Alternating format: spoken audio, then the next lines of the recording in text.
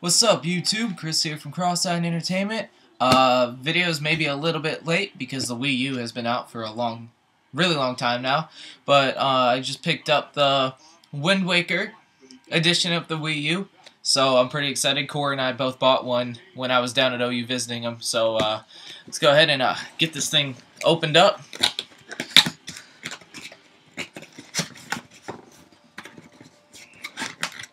Uh, can't get the last tab out. There we go. We also haven't done an, uh, a console unboxing video in a while, ever since like the Xbox One Slim when I did one with Matt. But um, expect one for the Xbox One as well. Alright, that's it for the box. So let's go ahead and uh, I guess we'll get into the cords real, real quick. Your handy dandy notebook.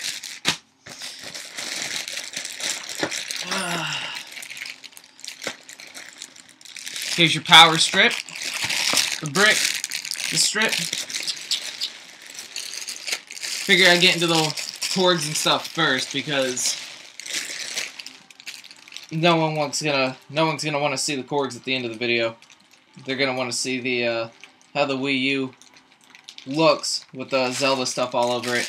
Like I said, I've already seen it because Cory was impatient to open his up already. So there we go. Here is the power brick. And let's go ahead. Is this the HDMI cable? It is not. Very, very interesting. HDMI cable probably under here. Oh, look at that. There's everything. Oh, uh, this is cool because these are stands for your, uh, uh, either, it's either the sensor bar, I'm pretty sure it's a sensor bar, or the, uh, to hold up your gamepad. So, uh, yeah, little neat addition that they added on there. You can, uh, put the, uh, sensor bar on top of your TV. Not have to worry about it. Here's the HDMI cable. You guys know what an HDMI cable is. I'm not even going to bother going into details about that. Here's the sensor.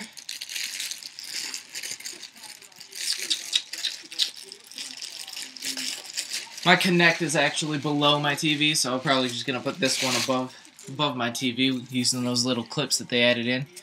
So, sensor bar. I think this is the, yeah, this is the charging stand for the gamepad. So, let's go ahead and get into the good stuff. The gamepad and the Wii U itself. Actually, let's wait for the gamepad. Let's go into the Wii U first.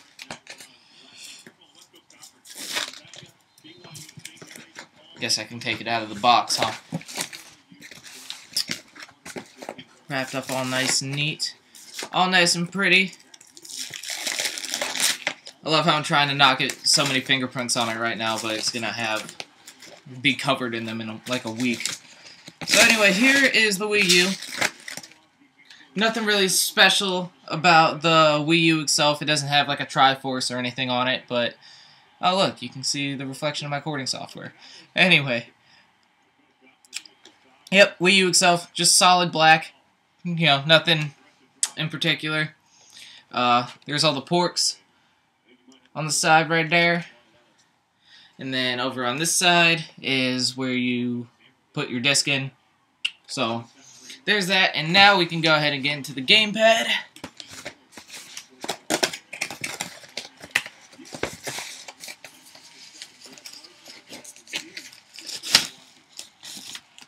And this, this is really neat.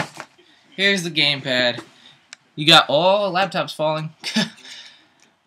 you got your Zelda logo over here, the bird from Skyward Sword, but it's been around in the Zelda series forever. The markings on the side here from Wind Waker. So, really cool looking gamepad, for sure. I guess, there we go. There's a good view of it. The home button here has like a design around it. So yeah, uh, that's the unboxing of the Wii U.